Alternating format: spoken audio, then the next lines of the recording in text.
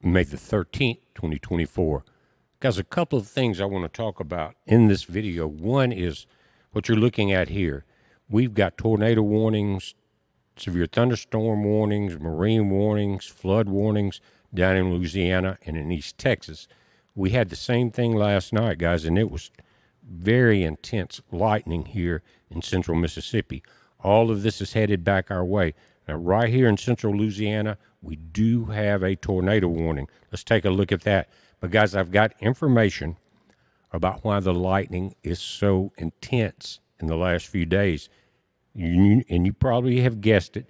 Scientists have proven that these extreme solar storms and high solar wind speeds cause in, uh, the lightning to intensify on our planet. It, it makes sense you supercharge the atmosphere. It's got to discharge, and when it does, it discharges hard. And guys, there was one that hit so close to our house last night. It sounded like it hit it. I expected the power to go off, but it didn't. And that went on for a moment. It was intense. But same thing happening tonight. Looks like a repeat. Here again, we're here in Louisiana, coming out of Texas, and it's all going to move into Mississippi. And you've got marine warnings off the coast of Florida. Look at this in the panhandle right here. All of this is going to repeat. Again, these I've always said space weather controls Earth's weather. First, we want to look at this tornado warning. Now, this is a close up of the area, guys. Here's Lafayette. Here's New Iberia right there. Lafayette is where it looks like the tornado has just passed the city proper. I mean, just on the edge moving east. Look at this. So you, if you're in the Lafayette area, this looks like I-10 going through here. It's right on the I-10 and it's moving east. Let's see what they're saying about it. You can see right now it is over Breaux Bridge. I want to show you this quickly before we go to that. Breaux Bridge, you're under the gun. Uh, you're south of Baton Rouge, New Iberia here, Franklin. So if you're in the Breaux Bridge area, take shelter immediately. And all of this is moving east slightly northeast from where you're at now.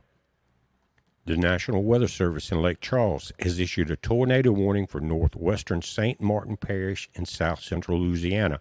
This is until 6:45. That's only about 10 or 11 minutes from the it's 6:34 as I'm reading this. At 6:30 p.m. CDT, a severe thunderstorm capable of producing a tornado was located near Atchafalaya, uh, Welcome Center are eight miles north of Catahoula, moving east at 60 miles per hour. It says radar indicated rotation. Flying debris will be dangerous to those caught without shelter. Mobile homes will be damaged or destroyed. Damage to roofs, windows, and vehicles will occur. Tree damage is likely. This dangerous storm will be near Atchafalaya National Wildlife Refuge around 6:35 p.m. Central.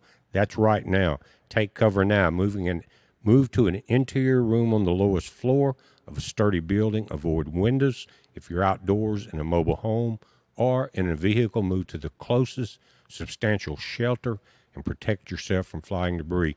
Guys, the storm is there now, but all of this is moving east. If you got friends or family in that area, make sure you contact them and make sure they're okay. Hunker down and uh, let's take a look at why this is intensified. It continues. It says the activity on the sun is sparking lightning strikes here on Earth. Scientists have found that when gusts of high speed solar particles enter our atmosphere, the number of the lightning bolts increases. I would say, from what I saw last night and reports from around the nation since the solar storm started, it's not just the number, but the intensity. Because solar activity is closely monitored by satellites, it may now be possible to forecast when these storms will hit. Now, this is an older article, and the uh, research has uh, grown quite a bit since then, but even then it said there's something like 24,000 people struck by lightning each year. So, having any understanding or advanced warning of the severity of the lightning storms has to be useful that's why I'm doing the video. In other words, now that you're seeing these storms pile up, and it's supposed to be kind of a rough year for hurricanes and everything else, if they occur during these solar storms, expect the lightning to be more intense. Lightning is so dangerous, guys. And like I said last night, something popped right outside the house, and I could not believe it did not knock the breakers out and everything else. It, but it didn't. This is something to pay attention to. It's science, and with the solar activity increasing, we know things are changing. Lightning will be one of the effects. We're watching, you guys in Louisiana watch that tornado, and all my friends in Mississippi, it's coming this way. It's a heads up, be safe.